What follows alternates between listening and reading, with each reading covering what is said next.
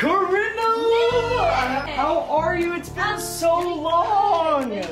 I know, I know. How's your Thanksgiving? It was good. We Yeah? don't really like turkey, so we're kind of just like shrimp Wait. people and. Who's that guy? Oh, that's my husband. You haven't met him yet? Your husband? Yeah, let's go say hi. This.